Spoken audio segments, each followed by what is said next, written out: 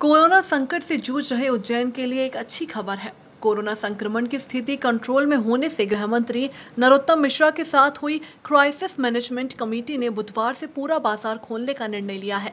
मंगलवार को circuit house में हुई बैठक के बाद गृह मंत्री डॉक्टर नरोत्तम मिश्रा ने इसकी जानकारी दी।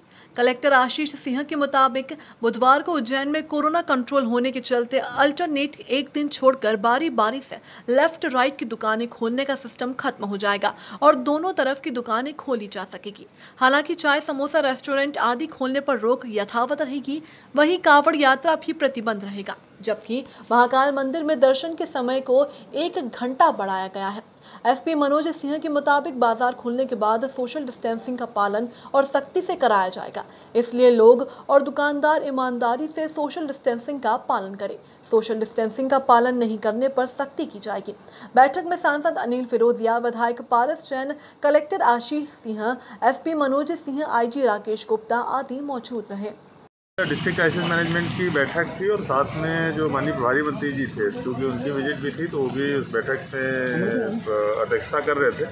तो जो दो तीन निर्णय लिए गए हैं, क्योंकि उज्जैन के लॉकडाउन खुलने के बाद में काफ़ी ज़्यादा केसेज में जो वृद्धि है, वो नहीं दिखी है। इसीलिए निर्णय लिया गया है कि जो एक पट्टी वाला सिस्टम था, वो कल से ख़त्म करके दोनों तरफ़ के, जो दोनों पट्टियों के बाज़ार हैं, वो खुला करेंगे। लेकिन ये ज़रूर है कि सोशल डिस्टेंसिंग का पालन हो सके। इसके लिए दुकान का भाग जहाँ तक है, वहीं तक सामान रखने की अनुमति होगी। अगर ज़रा सा भी सामान बढ़ाकर रखा गया तो तत्काल जो है उसको जब्त करने की कार्रवाई करी जाएगी, जिससे सोशल डिस्टेंसिंग को हम लोग पालन करा सकें। इसके अलावा कांवड़ यात्रा को लेके भी जो है डिस्कशन हुआ और उस पर ये सहमति बनी है कि कांवड़ यात्रा पूरी तरीके से प्रतिबंधित रहेगी क्योंकि बाहर से कई सारे लोग आते हैं। उज्जैन में इकट्ठा होते हैं, जिसकी वजह से संक्रमण फैलने का खतरा रहेगा। और अन्य राज्यों ने भी यही चीज़ करी है, इसीलिए कांवड़ यात्रा पर आज की बैठक के फलस्वरूप जो है वो रहेगा, प्रतिबंध रहेगा। मंदिर का जो खुलने का समय है, महाकाल मंदिर का, उसको एक घंटा और बढ़ाकर शाम को छः बजे के बजाय सात बजे तक करने का निर्णय लिया गया है।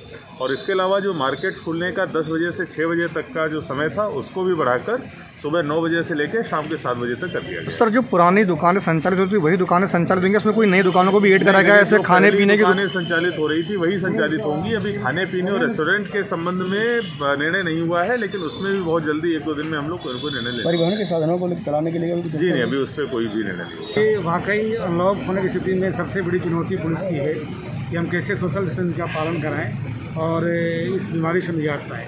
तो आपके माध्यम से आम नागरिक से, आम जनता की उज्जैन ज़िले से मैं अपील करता हूँ कि स्वतः जागरूक होकर के अपने को सोशल डिस्टेंस मेंटेन करना है और मास्क पहनना है, हाथ को सैनिटाइज करना है बार बार हाथों को साबुन से धोना है। ये बहुत ही आवश्यक है। तो मैं चाहूँगा कि उज्जैन ज़िले की जो जागरूक जनता है, निश्चित तौर से पुलिस का सहयोग करेगी। हम सब मिल करके सोशल डिस्टेंस का पालन कराएँगे और करेंगे भी। जो भी इसका उल्लंघन करेगा उसके खिलाफ हम फाइन भी करेंगे। हम लोगों ने कोरोना स्पॉट बनाया है, जीवन मित्र योजना चलाई है, निश्चित तौर पर हमको समाज से सहयोग मिलेगा और हम उसका पालन कराएँगे।